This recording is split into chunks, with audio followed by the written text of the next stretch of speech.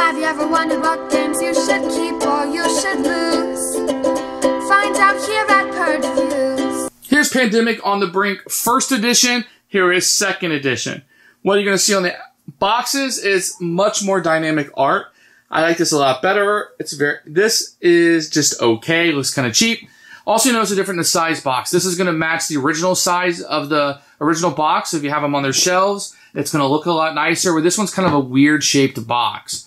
I don't like this size box as much because this is just going to match up with the first one and sit really nicely on my shelf where this one just has an odd size. Also, this one doesn't close all the way. When I try to stack everything in, this one has plenty of room in it. But let's take a look and see what's inside. Here we have the two rule books side by side on the brink. Obviously comes in a smaller box. You have the smaller rule book. This one's going to have all the components listed on the front, which I love. I love pictures of components. This just kind of has the contents listed out and the different challenges. This is almost like an advertisement on the front.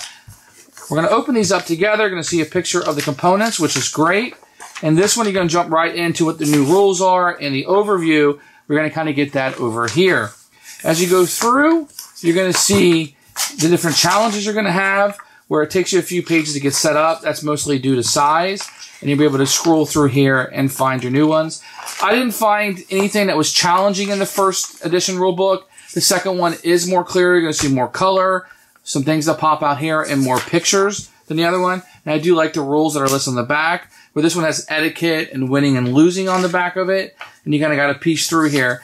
But I find both rulebooks to be pretty good. I prefer the second edition if I had to pick but both are not bad. I do like color and I do like pictures and I do like the size of this better. This one, because of small size, had to have a lot more pages. So here are the sheets I'm going to use with the expansion that lets you have the ter- the Bioterrorist.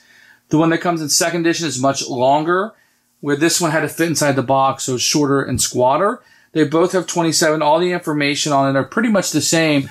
I would say I like this one better. It feels more like a notepad, but this one fits better on the table. You know, you always table space is at a premium when you're playing a game. So this one was set up by, you know, you get plenty of with both. You can always make copies or laminate or do whatever you like. So as you open up these boxes, they're both going to come with stickers. This one I haven't stickered yet. It does have a place on the board in the second edition to put a sticker on. Where in this edition we had these that were stickered on, but nothing to put on the board. Instead, you had this little chip thing that you would use and you would just place it on there. And this is made out of cardboard. As you'll see with the second edition one, you're going to have a custom insert where you can kind of put your pieces in. The Petri dishes are much smaller in the second edition. They could actually fit inside the first edition, but they fit in the box. You can see you have five, you have the one underneath. So they fit really nicely in there once they get stickered up.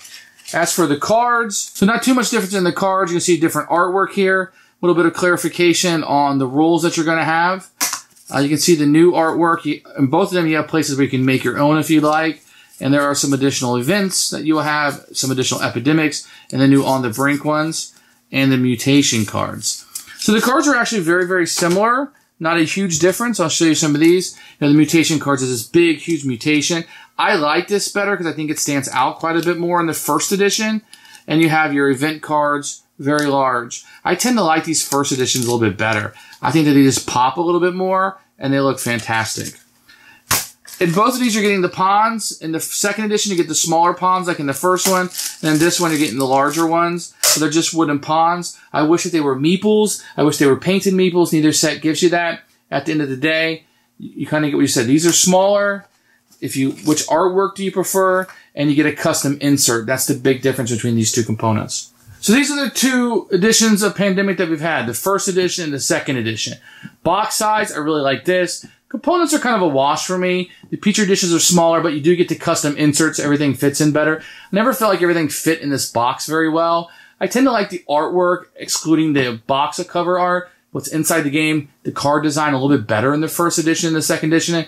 Once again, if you're going to get the second edition, you can get all of the uh, upgraded expansions. Where if you wanted to do the expansions with the old edition, you're going to have to definitely sleeve the cards. And this one, you do get the sticker for the board, versus in this one, you get the little cardboard thing. I prefer to have the sticker that can just be there forever, but your mileage may vary. Depending on what you plan on doing with these, I would probably give a slight edge if they were the same price. This edition is probably going to be found cheaper. So your mileage may vary. I would say this one has a slight edge, but it depends on what you're looking for out of the game. Thanks for watching the video. I really appreciate you tuning in. If you liked it, please like it and hit that little subscribe button. That really helps out the channel, lets us know that you're getting the videos that you want. If you agreed or disagree with what I said, feel free to comment below. I'd love to hear what you have to say, and I promise that I will comment back. Thanks for watching, and everybody else, keep playing.